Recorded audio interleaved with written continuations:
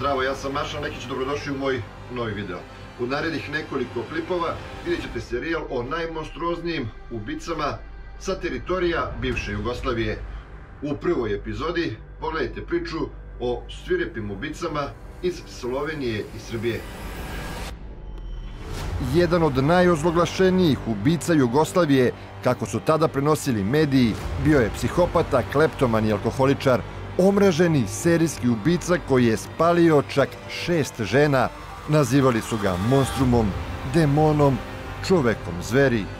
Ko je zapravo metod Trobec? Posle prijave da je pretukao jednog nemačkog državljanina koji je u Sloveniji boravio turistički, uhapšen je Trobec. Policija tada nije bila ni svesna koga zapravo ima u rukama. Pretresom prostorija koje je koristio metod Trobec, inspektori pronalaze ukradene stvari iz fabrike u kojoj je radio. Policija ulazi u pomoćnu prostoriju, to je šupu i zatiče robu iz metalke koju očigledno taj čovek e, nije uspeo da preproda. Pored ukradene robe iz magacina fabrike, pronađeno je i mnoštvo ženske garderobe. Tada klupko surovih ubistava počinje da se odmotava. Pronašli su gomilu ženske garderobe, gde u prvom trenutku su možda mislili da i to služi za preprodaju. Međutim, e, bilo je puno ženskih grudnjaka, gaćica, najlon čarapa.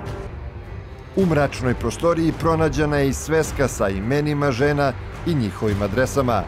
Tada kreće opsežna istraga. Pronađena je identifikovana torbica jedne od nestalih žena. Bila je to torbica Zorke Nikolić, za kojom je policija neko vreme intenzivno tragala. Policija je došla do jedne žene koja je sa njim e, ne samo da se dopisivala, nego i stupila u intimnu vezu, koja je čak i bila zaljubljena u njega. Policija je pitala da li, je, da li ste vi u ovoj kući sa njim e, vodili ljubav, e, da li ste vi u ovoj kući sa njim provodili dane, vikende. Ona je rekla ne, to je kuća u sasvim drugom gradu, na sasvim drugom delu zemlje. I ona ih je jednostavno policajce odvela do te kuće. U toj kući policija zatiče prizore iz horor filmova. U peći za hleb pronađene su kosti. Bilo je to veliko iznenađenje za nas. Pored tih kostiju, pronašli smo i ostatke ženskih predmeta, u pepelu, u sanduku koji je nađen u pomoćnim zgradama. Kada su u kuću doveli osumnjičenog trobeca, počeo je da priznaje šta se tu zapravo dešavalo. Metod Trobec je istražnom sudiji priznao krivična dela za svih pet žena, s tim da je prepoznao pojedinačne komade odeće, kapute, sandale, dokumente i sve drugo što je bilo za svih tih pet žena. Napadač na nemačkog državljanina bio je upravo Metod Trobec, magacioner koji je radio u fabrici u istoj onoj u kojoj je i nestala Zorka Nikolić. Policije ubrzo sve postalo jasno. U kući skrivenoj u dubini šume, Trobec je svoje žrtve tokom seksualnog čina davio, a zatim hladnokrvno palio u peći za hleb, sve vreme puštajući muziku sa radija. Paljenje žrtva uh, u peći sigurno ima u prvom planu funkciju uh, uništenja uh, dokaza, ali ima sigurno i svoju simbolnu vrijednost. Desetak godina kasnije, u Srbiji Josip Vujić, poznat pod nadimkom i oca Sekirica, počinio je devet monstruoznih ubistava.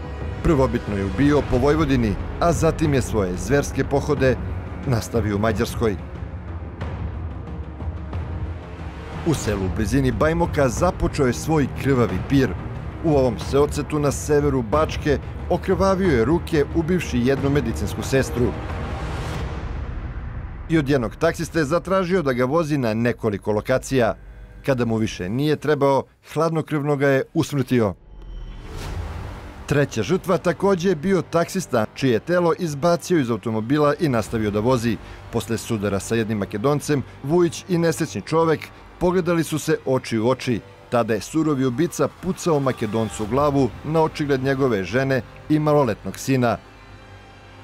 Kada je stigao u Bajmok, Sekirom je usmrtio dve starije sestre, a potom posle nekoliko dana na isti način lišio je života i bračni par Vukelić. Zatekli smo stravičan prizor u samoj kući. E, na podu u spavaćoj sobi je bio sa obliven krvlju. Glava mu je bila sva u krvi, nisu se videle ni oči, ni obrve, ni nos, ni usta. Posle hapšenja za ova zlodela, ubica uspeva da pobegne policiji prilikom sprovođenja i beži za Mađarsku. Tamo, nažalost, ubija još jednog taksistu. Mađarska policija tada uspeva da ga uhapsi i osudi ga na 20 godina zatvora. 1997. godine u Srbiji je osuđen u odsustvu na smrtnu kaznu. Međutim, ta presuda je ukinuta. 2010. izručen je Srbiji i osuđen na 40 godina.